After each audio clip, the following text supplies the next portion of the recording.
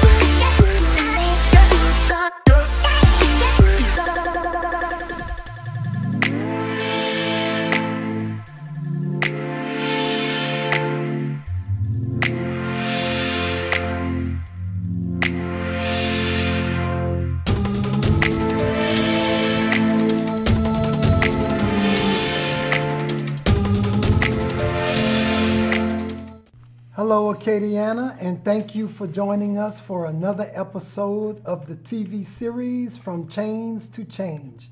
My name is Marcus Simmons, better known as Chachi, and I am a Lafayette organizer for Voice of the Experienced, better known as VOTE. I'm joined here with my coworkers and colleagues, and I'll let them introduce themselves. Hello, everyone. I'm Consuela Gaines, also known as Sway. I too am a chapter organizer for Voice of the Experienced, better known as VOTE. Hi everyone, I am Dr. Matthew Green. Um, I'm a professor at UL Lafayette. I'm also a member policy coordinator with uh, the Vote Lafayette chapter, um, and I'm excited to be here. Hello, Acadiana. My name is Ilona Prieto. I'm the director of organizing for Vote. really excited to be here visiting from New Orleans. Okay, again, thank you guys for joining us. And today our topic is going to basically be our coworker um, and colleague giving their story of self. And I'll pass it on to Matt. All right. Um, so we have the very fortunate pleasure of having Ms. Ilona Prieto, Director of Organizing for Vote, here with us today.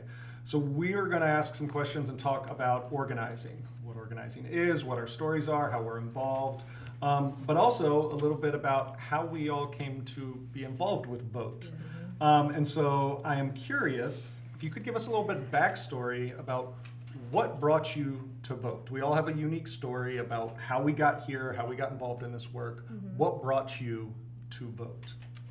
So, what brought me to vote is I found myself in a space of being kind of in a career change path. And um, I had known Norris for a very long time. We worked together over 20 years ago at the Juvenile Justice Project of Louisiana. Um, and Vote was going to sue the state of Louisiana for voting rights to re-enfranchise people who had felony convictions um, to get the right to vote back. And so Norris said, "Come on and volunteer for us." And I said, "I don't know anything about voting rights." And he said, "Come on." And that was the beginning of the end, and I haven't left since. It's been seven and a half years. Oh, wow. Mm-hmm. It's wonderful.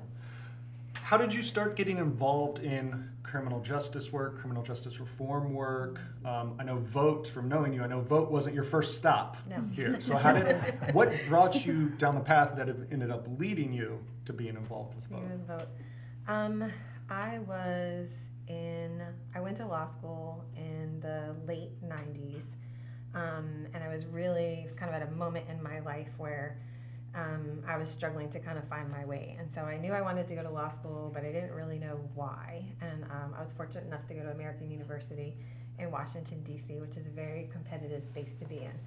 Um, I was also recently on the heels of, you know, the death of a family member that was very, very close to me. So I think my struggle was partially still kind of dealing with grief. Um, and my grades were not the typical straight A's that I was used to getting, which is not really a good space to be in when you're in a competitive space like Washington, D.C.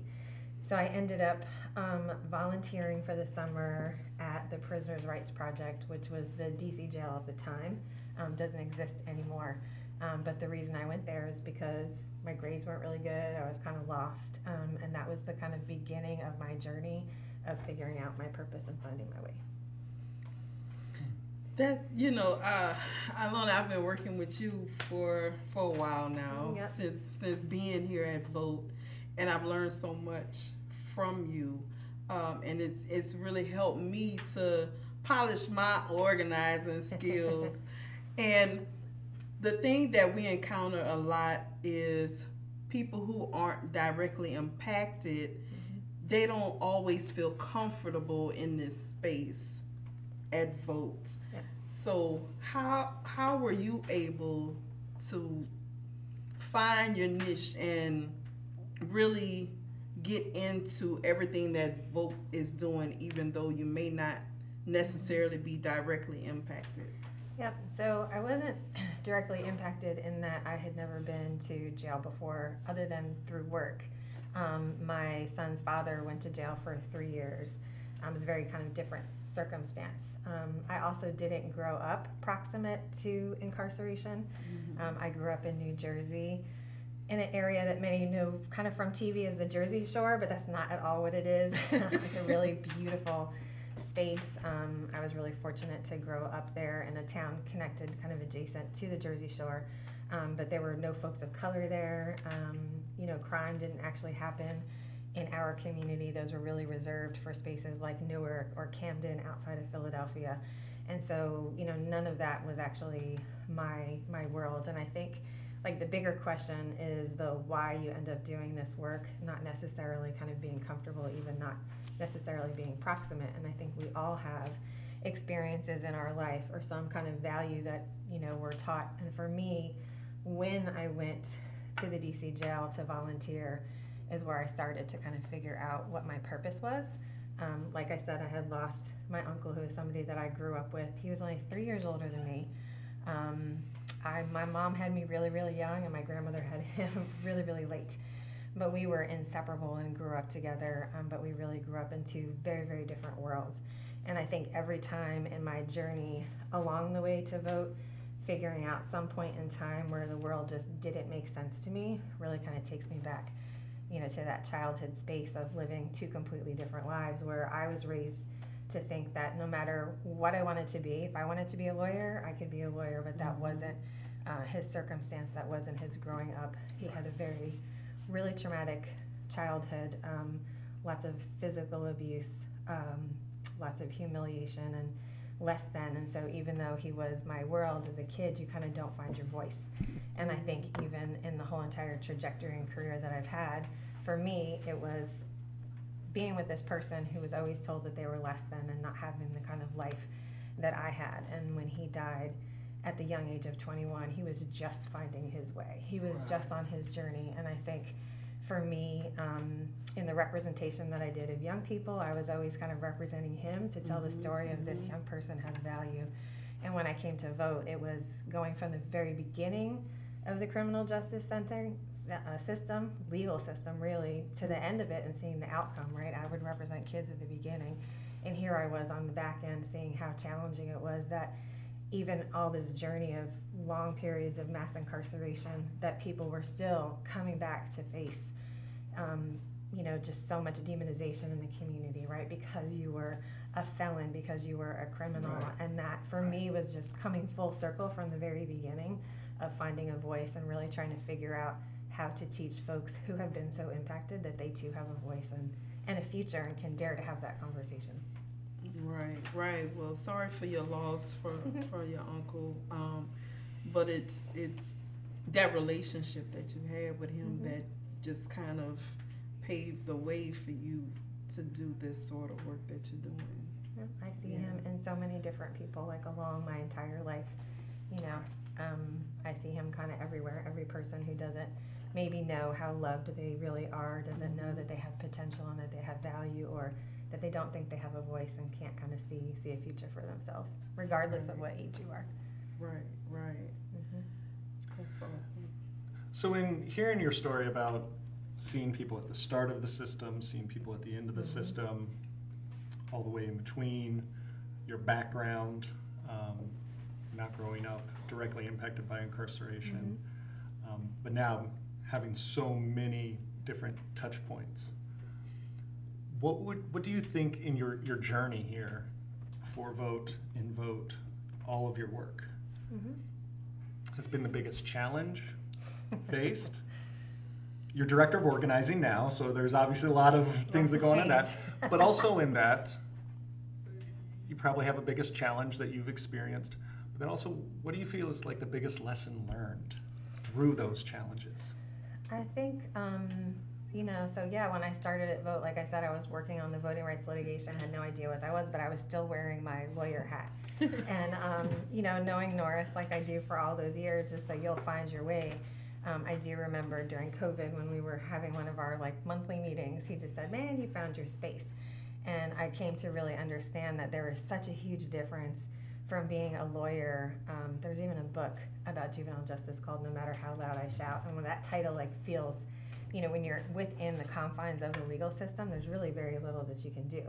So the reason that I love organizing is you're really just like making a lot of friends and building relationships. But when a, a person figures out that they have a right to be heard, that they can find their own why and their own story and be brave enough to kind of get educated and learn and, and just grow. That development has some kind of magic that is really hard to describe.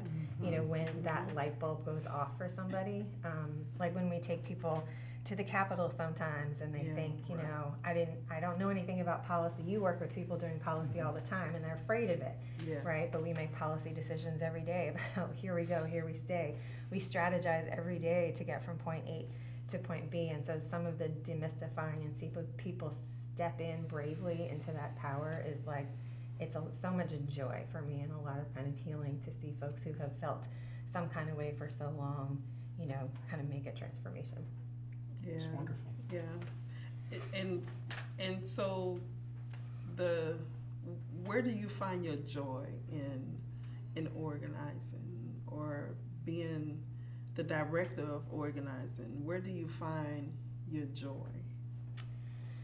I think I find joy in, um, I think I just find joy when people can really kind of, you know, when we're sharing our stories. I mean, you all have shared your stories, and I'm really looking forward to hearing from Matt. I think when people really get to that place where they're willing to dig deep, um, because at the end of the day, what connects us, whether we're impacted or not impacted, is some kind of shared value, and that kind of really comes from the heart, Yeah. right? So I might not have the experience of being directly impacted, and I would even say that my experience as a family member of a formerly incarcerated person really doesn't isn't really kind of anything that taught me that much about it but it is when like you can connect from a human being to another human being because i think so many people who are pulled into the criminal legal system have to survive through the criminal legal system like the two of you have are just not seen as human.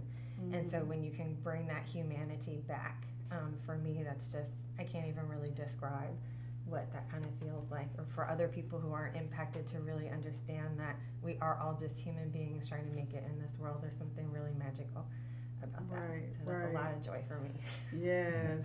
Um, yeah, I mean, there are a lot of joys that we can experience, you know, when we're, like you say, it's about, you know, connecting people, bringing people together, that shared values, you know, um, being able to build those relationships off of those shared values. I know for me, that's that's probably something that gives me the most joy too is those relationships. And then when we're able to you know come together mm-hmm. and join forces and you know use the resources that we have to make changes man it's beautiful it's yeah the solidarity is also really really huge. I often say that vote feels like church.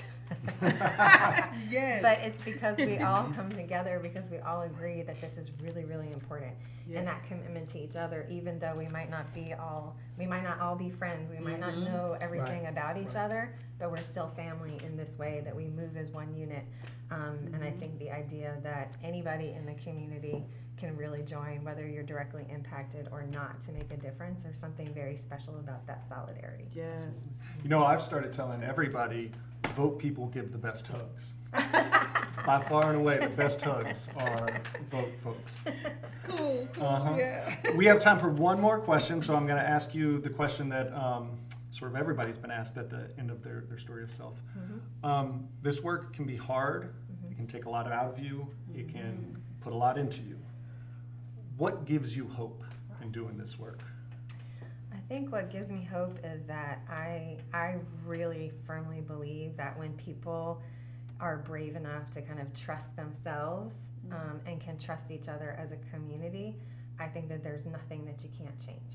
And I really believe that very deeply in my soul. And I think we're all doing different organizing projects um, in each chapter that are really getting us there because it's really not necessarily the destination it's the journey along the way. So we might not win at the end of the day, but it's it is the power that we build, and by power I mean the idea that we can actually achieve change. We can identify something that we find that to be really important that's going to make our community safer, wholer, stronger, just more beautiful. Yes. And once you are able to accomplish that, I think, you know, that gives me hope every time. It's beautiful. Yes, Yes. yes, But that's something that's going to have to be accomplished together. Correct. Mm-hmm. Together. definitely, definitely. Mm-hmm. All right. Yeah. So, um, Matthew Green, we would love to hear your story. What is it that brought you to vote? Um, when I first met you, you were like, you, you're a tall guy. Number one, you're tall, and I'm tall, but you're taller. So that was a plus. And just the information that you possess, Mhm. I'm like, man, this guy here knows a lot about a lot of different things. And to have you at Vote has been wonderful. And so we want people to hear your story, share your story, um, and let people know how it was that you Mhm. came to Vote and tell us why you even stayed with Yeah. Vote. so, yeah. Um, so I think my, my journey to vote started and really had nothing to do with vote. Right? Mm. I tell people that, um, and they're like, "Huh? How, do- how does that work?" Um, but I think about I think about like my life trajectory and where I started becoming aware of injustice more and more. Mhm. Um, I was aware of it sort of a little bit as a as a child. Um, my Mhm. parents did a, a pretty good job of like teaching me about equality, not a lot of the hard stuff. Um, but then in grad school, I started learning more and more about inequality, racism, sexism, um, all the ways those are structural, systematic, um, Mhm. and the ways they work in the education system. Um, so for folks who don't know, um, I'm a professor of education, um, and a lot of the, the stuff that I do works around sociology of ed, um, where we look at social issues in Mhm. education.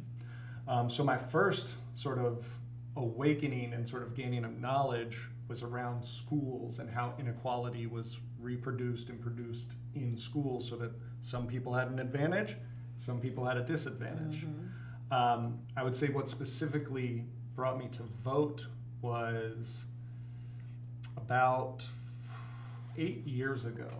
I wasn't even in Louisiana. I was in Iowa doing a postdoc. Um, and I'd met a guy um, at a local brewery and I became friends with him.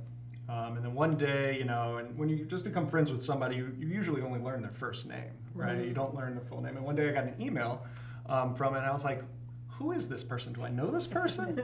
um, because it wasn't the name he introduced himself by, it was his full name, right? Because on your email, you get your full name.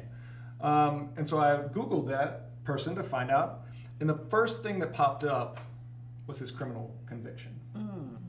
And I thought to myself, I was like, wait, what? Um, like what I knew and who I knew didn't match what I was reading. Uh, Um, and it wasn't anything he had told me, right? Like, and so I was like, huh. So that was probably one of my first sort of moments of sort of, I guess, recognizing people aren't just a single story.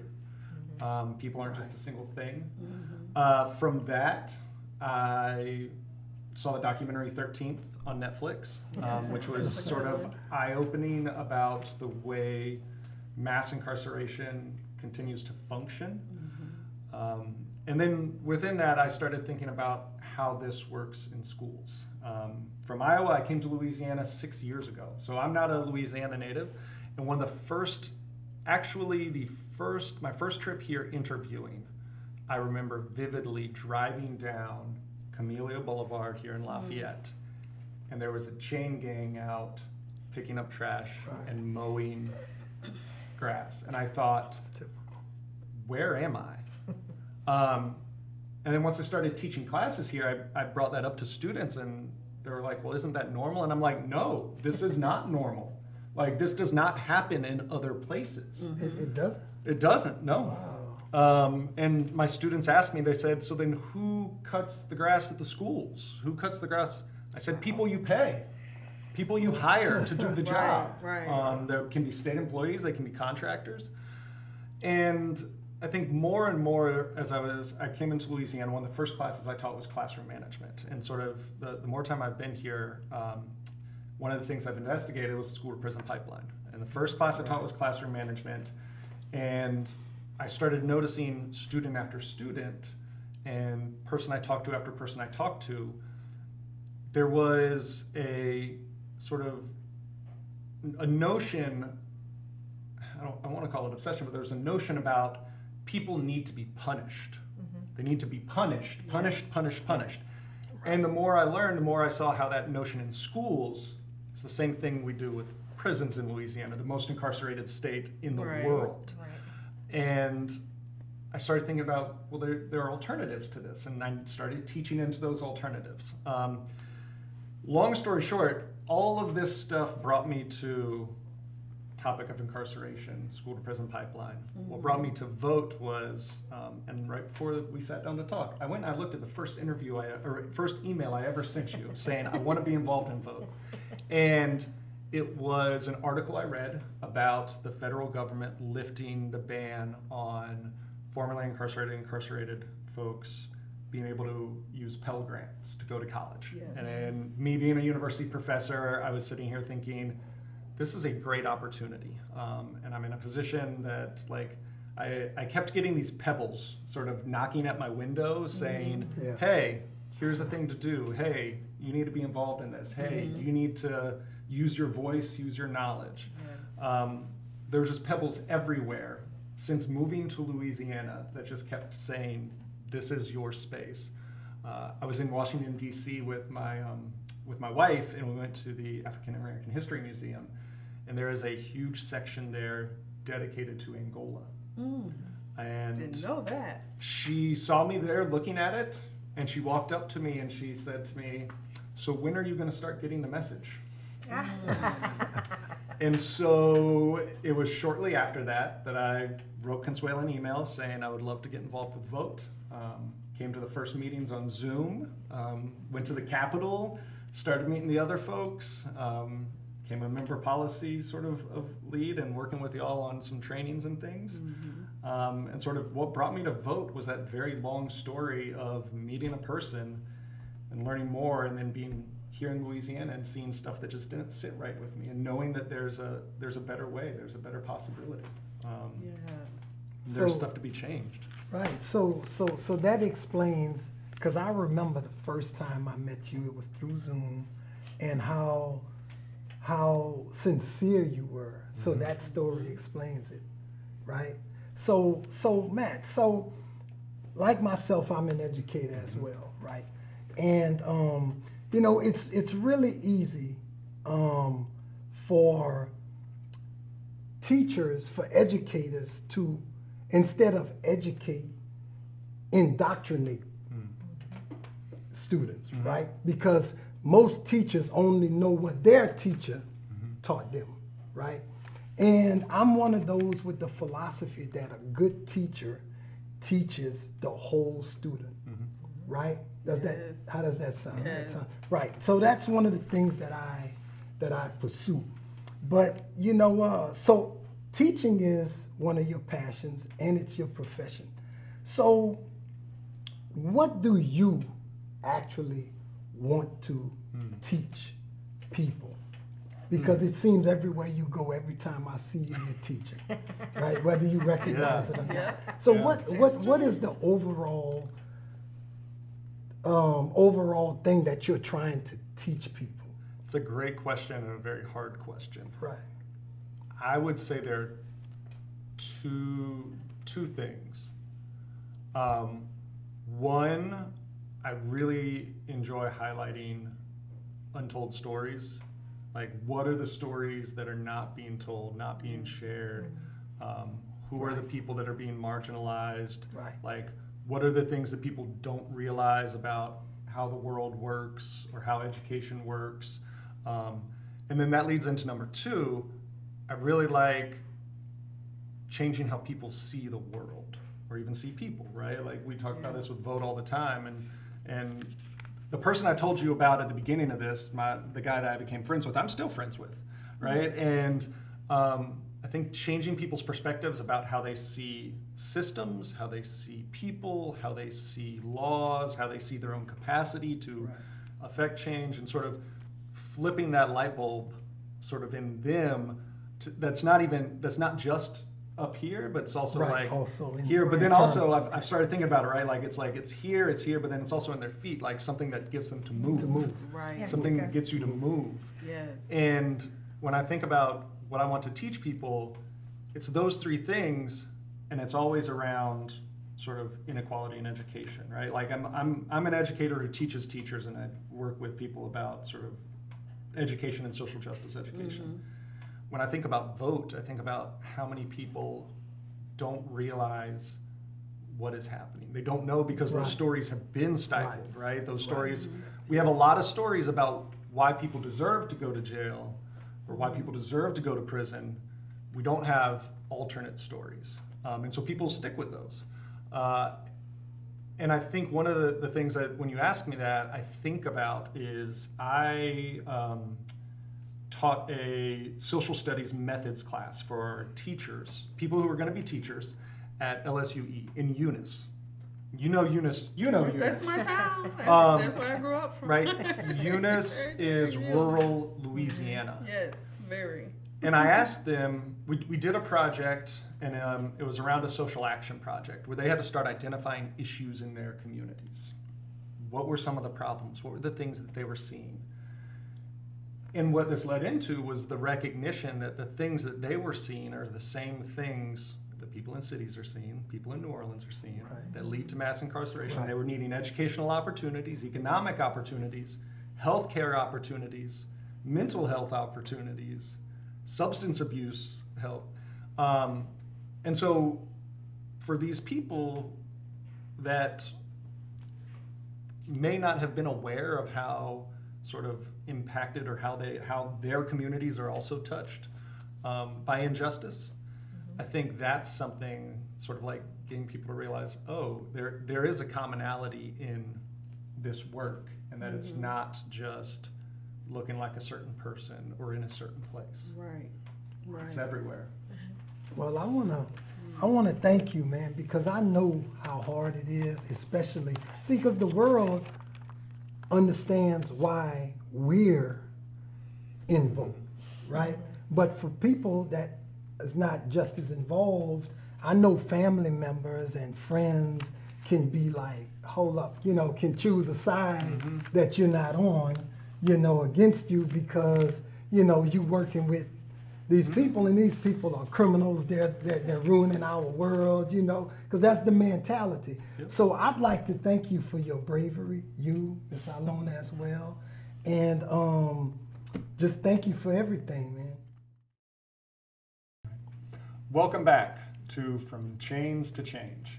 Um, one of the reasons that we share our stories is that it's important to know what brings people to vote, why they're involved. Um, storytelling is a, is a really important part of organizing with vote. We have our director of organizing with us here today, um, Ms. Ilona Prieto. And once upon a time, you told me organizing is about shifting power.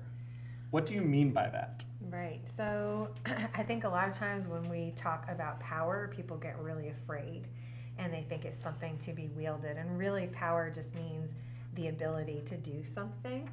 Um, and so when we talk about shifting power, it's really that community comes together to identify a challenge that they're facing. Because at the end of the day, those closest to the problem know the solutions to the problem that they have. Mm-hmm. And so when we say shifting power, it's finding those resources within a community to get the change that is that you're seeking. And so when we talk about resources, same thing, that doesn't necessarily mean money. That means Right. the ability to share your time, which is your most precious resource. Right. It is your creativity. It is your things that don't actually cost money. Somebody who's really willing to kind of dig deep and share their story, like Right. that becomes a resource because our stories help shift a narrative and help other people understand what the problem is that we're trying to change. And so that can be anything. It could be, you know, you need a street light on your community, or it could be ending mass incarceration, right? and everything in between. Right, It just right. depends. And so for us, you know, leadership and organizing as organizers, as members of Vote, mm-hmm. right, we make that commitment to work together um, because we are enabling other people to achieve the change they want to see in uncertain circumstances. Because at the end of the day, like I said earlier, we never know if we're going to win, what the really end destination is, but it's really about the journey. Right, right. And we talk about storytelling, and we've been talking about storytelling for for a while, and the importance of it. And a lot of people are like, "Well, I don't know how to tell my story. How can I tell my story?" And that's something that we're training our members how to do right here at Vote with storytelling training or public narrative. And so, Ilona, I know you're you're really huge on making sure that all our members know how to tell their stories. Mm-hmm. Could you go a little bit more into the storytelling Sure. aspect so people can have a better understanding and not be so afraid Yeah. to tell their story? Yeah, I think what's really important to understand about storytelling is if you don't tell your story, somebody else is going to tell it for you. Yes. and the way they tell that story, right? And so, and I think, you know, storytelling isn't rocket science. It's just really kind of getting to the heart of, you know, something that connects another human being to to another person, right? We find our humanity, and I think you know people need to remember that we tell stories all the time, Mm-hmm. right? So if we're having a conversation when we build friendships, we tell stories about Yeah, an experience that happened. So it's no different. I think it just gets a little bit more challenging because you're identifying why this issue might be important to you, and it can be, you know, sometimes there's trauma um, in there for people. Sometimes it could be just absolute joy, but to really put yourself out there means that you're being vulnerable. And the last Yes. thing any of us really want to be is vulnerable Right. because it's you know kind of getting over that fear but as organizers we also use our stories for people who are afraid you know to bring fear for people who are alone to bring solidarity Mm-hmm. um, to bring love to bring hope to kind of shift those states that really often keep people in communities that are impacted stuck where they are right, apathy. Um, i think you know as human beings we all kind of need to figure out why we want to engage in a particular activity. So we can sit and watch the news and say that's terrible. But at what point are you going to kind of make a choice to be the change that you want to see um, just in your community overall? And the, the storytelling is you know really i think the thing that's scariest for people is the vulnerability. And so Yeah. once you kind of can understand um, you know how to tell your story it can really be life changing Right.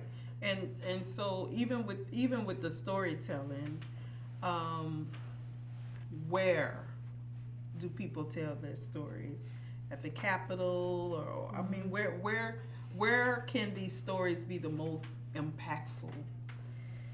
Stories for me are become the most impactful not necessarily at the Capitol. I think they become the most impactful because they're the thing that help us build relationships. Mm-hmm. So if I want to get to know Marcus, we're gonna have to share a little bit something about each other Mhm. because we're never gonna get to a point where we can trust each other. Right. Um, and I can know that if the two of us want to create a change or we want to do this thing, like go to the Capitol, meet our legislator. Maybe Marcus and I have the same legislator, but we don't really think that um, you know that person is somebody that we can talk to. But we're Mhm. committed to, to figuring out who our legislator is, and we're going to go talk to to that person. Right? We're engaged on a particular journey to do a thing. And so for me, it can be incredibly powerful to tell your story at the legislator legislature. I think it's really powerful to tell your stories. Um, to the media, to each other, but I honestly think the most powerful place is when you're building relationships Right. because from that is like the beginning of the journey And it's not really in organizing. We're not talking about the relationship that's all in your business.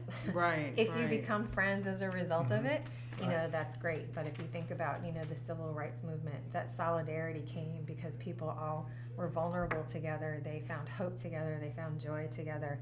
Um, it was a civic, it was a public relationship that we're creating. Right. And I think at Vote, that's really what we're striving for is for community to come together. Um, So that, Right. you know, the, the, the lagniappe that comes is the friendship and the love. Mhm. But at the end of the day, what we're trying to do is speak up for ourselves as communities. Right. Right. So, so prime example of what you're illustrating here is, um, so, so over at the college where I teach, my one of my best friend is the the HiSET teacher, GED, and um, you know we're completely we completely opposite. He's from up north. He's from up north, and he'll he tells the story about how David Duke was his neighbor Wow. right? And I'm down here, and and you know, just as uh-huh. involved person. So we're on the same campus, and from a distance, you know, we see each other, and so we had no idea that that a friendship, a true friendship between the two of us would have evolved from just aging our acquaintance by telling a story, mm-hmm. right? And that story resulted in, into us writing a book together Mm. and we had no idea that that we thought so much alike mm-hmm. and never would have if we wouldn't have been willing to share our story Wow. Mm-hmm. right I think it's sharing the experience. I think that's generally kind of where we are right now as human beings is we can't kind of hear each other because we can't really feel each other. And until we can really be open to the possibility that we might Right. not see eye to eye, right but there might be things that we actually share and care about together um, is really the space that we need to be in. Um, I think kind of all over, but particularly here in Lafayette. So you mentioned the importance of relationships. Mm-hmm. Um, and vote is a little different than some other criminal justice reform nonprofits little. organizations. Yeah. Just a Um, it was started by incarcerated individuals, then create by formerly incarcerated individuals, and formerly incarcerated individuals play a large role. What is the importance of that role in this work and in organizing work and in sort of the story of vote?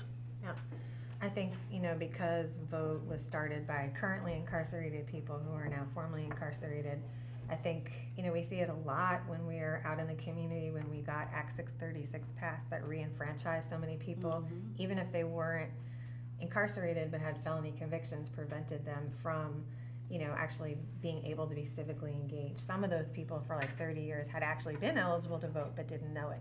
And so it is really important for formerly incarcerated people to be brave enough to really share some of their experience so that other people, we are the highest incarcerated state in the entire world. So think about how many people don't actually know or who might um, really just have a lot of shame and trauma from the period of incarceration, right? I know my um, son's father, when he came home, had a very kind of privileged reentry, not like everybody else, but he still to this day has carries so much shame and humiliation. We just don't talk about it. Luke Yeah. has never spoken to his dad about it. He's very sensitive to the fact that he doesn't want to, but you know, when you can see it and feel it, other formerly incarcerated people being brave enough, like Consuela and Marcus, to actually share their story gives another person the feeling of solidarity. I'm not alone. And so some of it's education, right? The field that you're really kind of pushing because really building relationships and organizing is so that we can educate so that when we mobilize, it makes sense. Um, but people need to be brave enough to share that Right. story so that Right. other people can say, see themselves in that, envision Right, themselves and say, I see a future for myself. Um, and I think that's the most important role that we think can play. That's definitely one of the reasons that, that brought me to vote also, was working alongside with Sway and Marcus, um, and building those relationships. Yeah. Um, Didn't Yeah. know these two people before coming to Louisiana. Exactly. Um, But it also shows people the diversity of vote, the diversity right, of who's involved right. in vote, and how many people it takes to be involved in this work and build this coalition. Yeah, it's really important in organizing that it's also, there's a very important role for formerly incarcerated people, for actually currently incarcerated people we work with also on the inside as an organization. So we have members on the inside uh, that we have relationships with. There are people who are family members who play an important role, but also people who are not impacted play an incredibly Right. important role. Um, because it's going to take all of us together to have different perspectives, different experiences. That's really what kind of makes the gumbo of organizing work really, really well Mhm. um, and makes you stronger in the long term. Yeah, yeah. So yeah, definitely the people that y'all see up here, you see a couple who are formerly incarcerated, you see a couple who aren't. And like Ilona said, I mean, we're a diverse group. So if you're looking for an organization for you to become a part of, and we don't have membership dues or fees, we just ask people to show up and join forces with us so that we can make the changes that we want to see made in our communities and throughout the state of Louisiana in criminal justice. And, you know, a lot of people get intimidated when they see the word vote Right. and think that's that's what they're about. That's the only thing they're about. No it's not. It's just one of the things that we have under our huge umbrella of criminal justice reform. And voting is very important but at the same time we also emphasize um, on our rights you know as a whole for formerly incarcerated people um, from housing to employment. There are so many things, our health care, that we're working uh, so diligently and have been working for years to improve. And we've been able to make a lot of improvements. And believe you me, it, it wasn't done by uh, just the staff of Vote, it was done by the members. It was done by the storytelling of people being able to share their stories at the Capitol, to share their stories at city council meetings, to be able to use their voices. And that's what we're cultivating here at Voice of the Experienced. So if you're looking for an organization where you can find your voice, I encourage you to join us at Voice of the Experienced. And we're always looking for more and more members to join us, whether you're formerly incarcerated, a family member of someone who's currently incarcerated, a friend of someone who's currently incarcerated.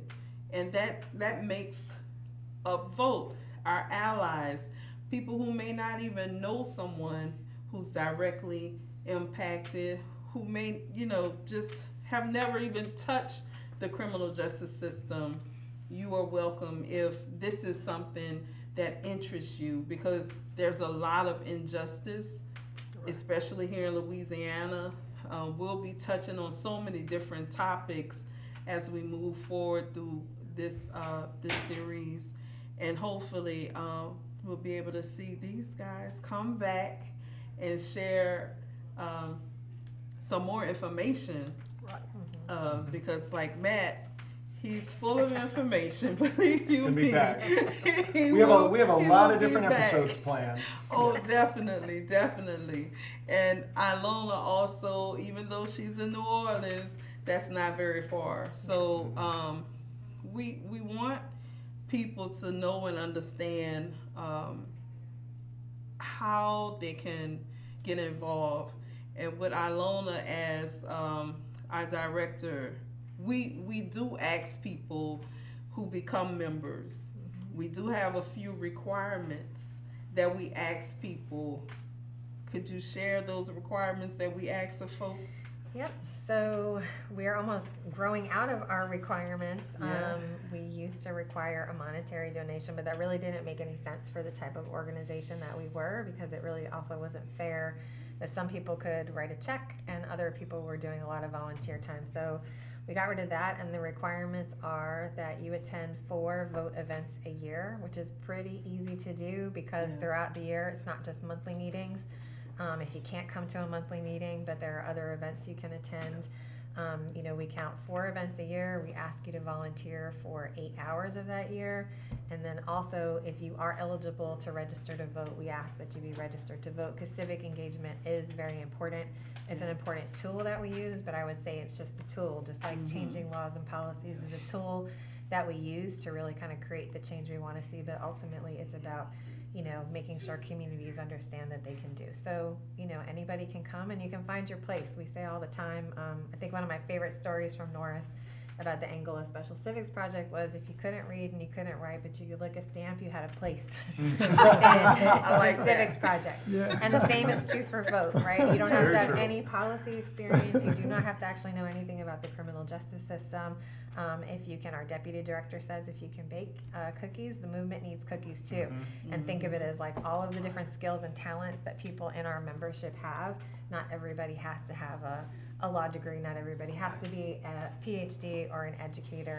You just have to be somebody who really cares that Louisiana can make a difference and see change, um, see change in the world.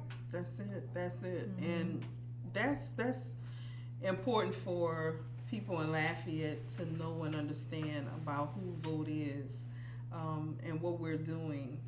We're we're not asking people to step, you know, outside of themselves and become something that they're not. We're just asking people to be themselves, be who you are, Right. and with the person that you are, you're more than welcome to get in. I mean, because we have people from all walks of life as members of Vote. Right. Um, Right. people with legal backgrounds, people with no legal backgrounds. You know, we have um, we have a great, great diverse um, group of people, and our membership is definitely growing here in Lafayette and I'm excited about it. Um, as we're seeing younger people join vote. Matt, you're you're you're one of the young ones. Thank you, thank you for saying that. you know, Matt is one of the young young uh, members, and even younger than him. We have some members who are younger than Matthew. So, UL campus students, if you're a student, you're welcome. I know there's a criminal justice class there, and we um, try to stay connected with them as well to give them an opportunity to learn more about criminal justice from a nonprofit aspect because I know they, you know, they often, uh, when they have those little job fairs, they have different people from law enforcement and places like that to try to recruit them. So we always show up on the set too, so they can see um, that they could get in the nonprofit uh, realm as well instead of just law enforcement because you know the opportunities um, to really dive deep into criminal and criminal justice is so, So broad.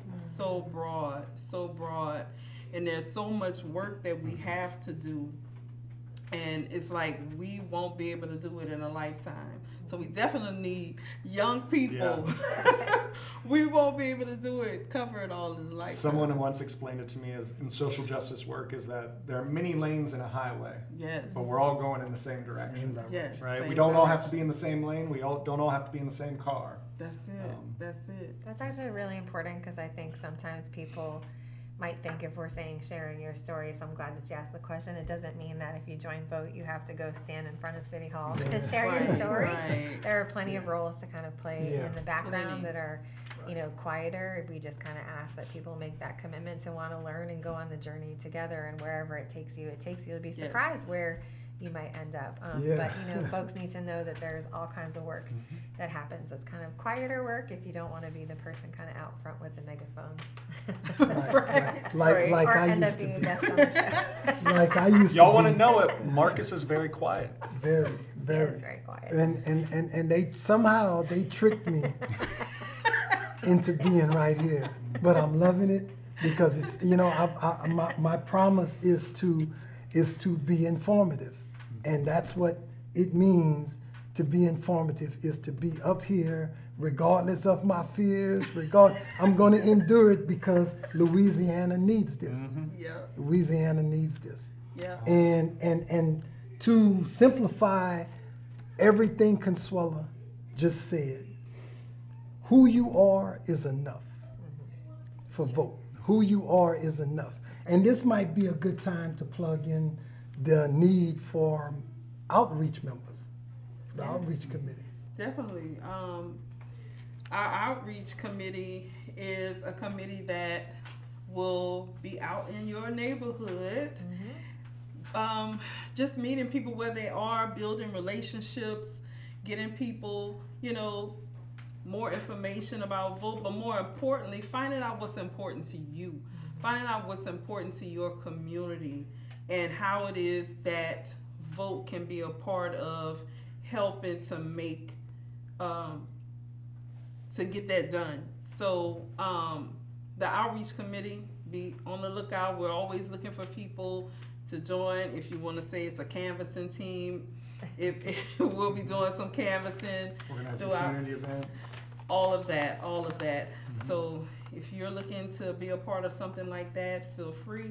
Our next monthly meeting, I believe they've been showing it on the screen, is August seventeenth at the Downtown Convention Center located at one twenty-four South Buchanan Street, right here in Lafayette, Louisiana. Bring a friend if you don't feel comfortable coming alone. In fact, please bring a friend. please bring a friend. And guess what? We always serve food, delicious Always. food, always Catered food. always. delicious, delicious. So, welcome back, guys. And I have one more question for Matt. Um, this is this is a question that everyone that sits on this set answer, and I'd like to ask you, Matt. So, what what gives you hope in a time like this? What gives you hope? I think mentioned earlier was relationships. I think the number one thing that gives me hope is people. Um, people and community. Um, when I'm in relationships, when I'm here with Vote, when I'm around people, when I'm in that community, um, I always feel hope. It's a, a thing inside me, right? Like it awakens inside me and it energizes me. Um, so I would say number one thing that, that gives me hope is people. Just people everywhere and getting to know people, being around people. I've found that anytime there's been a social justice movement or change or inspiration, people are at the core of it. Um, and so people give me hope. Well, Acadiana, thank you for joining us for another episode of From Chains to Change. No surrender, No No retreat. retreat.